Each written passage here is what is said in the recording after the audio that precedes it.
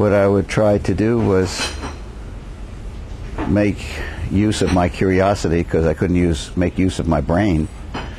I could see patterns. I could see patterns where other people didn't see patterns. Uh, patterns of connection between ideas and subjects and thoughts. Really good at that. Most things are boring to me. I get bored brushing my teeth in the morning.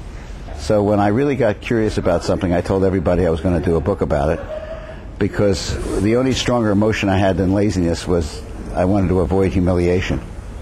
So I could avoid humiliation by actually doing the book. If I didn't do the book, didn't do the project, I was humiliated. So I pushed myself into doing things. So then I ended up today having done 81 books on probably 50 different subjects. That's it. It's not very hard. I'm a simple guy.